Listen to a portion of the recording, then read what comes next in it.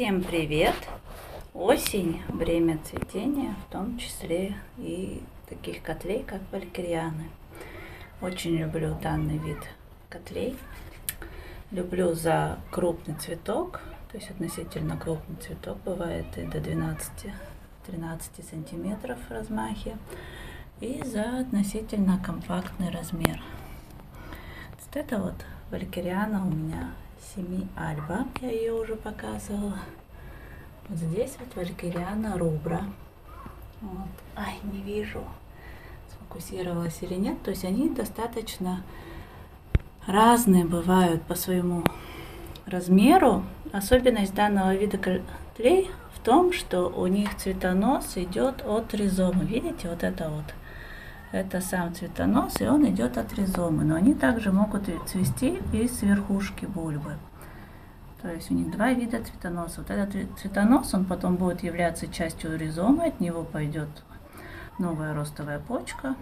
И так они и развиваются. То есть это вот я считаю достаточно крупная валькириана. Смотрите, у нее какие бульбы, плюс лист, ну, наверное, она сантиметров 20, я думаю, все-таки достигнет. А есть валькирианы, у которых бульбы, смотрите, бочонками. Единственное, что вот эта вот валькириана двулистная, сама по себе валькириана должна быть однолистная. Вот эта вот двулистность, она э, вызывает сомнения в том, кто в ней замешан. Вот, то есть сама валькириана это однолистное растение, двулистное, нобелиор. То есть тоже у меня есть нобелиор, они должны цвести в идеале своем весной. Мои валькирианы, они цветут как весной, так и осенью уже, которые взрослые растения. Вот это вот еще одна валькириана цветущая. Смотрите, вот цветонос. Видите, как развивается? Идет от ризомы. Вот. Такой вот. Но это будет цветонос. Смотрите, он облиственный. Вот идет листочек. Я думаю, все-таки он превратится потом в небольшую бульбочку. Как вот этот вот. Тоже, видите, цветет с верхушки. Вот этот вот. Вот еще одна валькириана, это цируэлла. Тоже, видите, цветет с верхушки.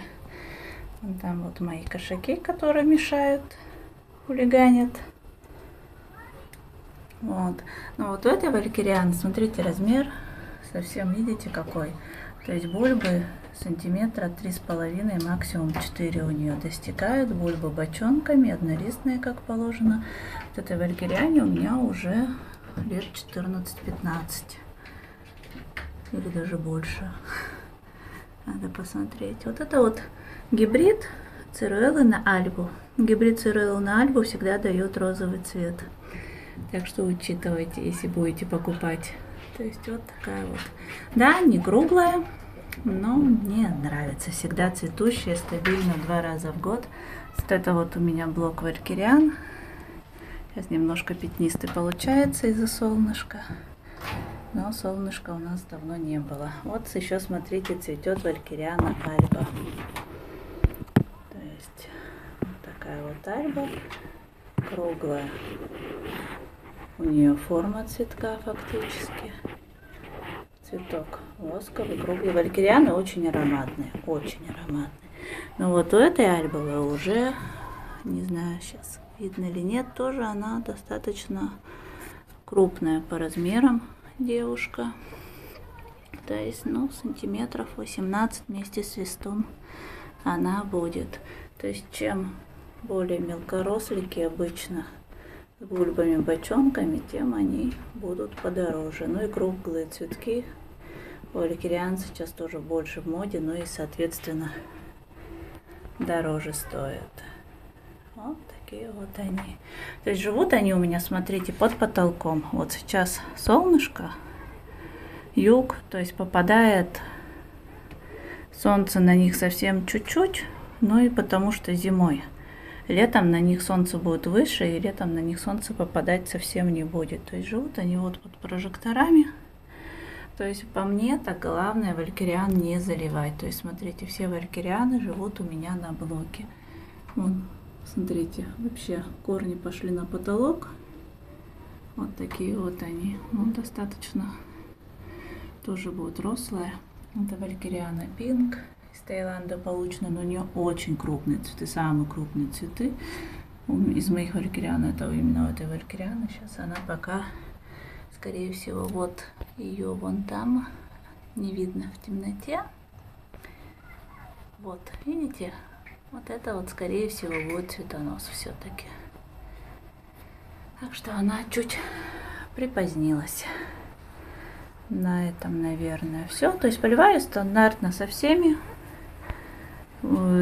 Никаких я им не устраиваю зимовок, просушек.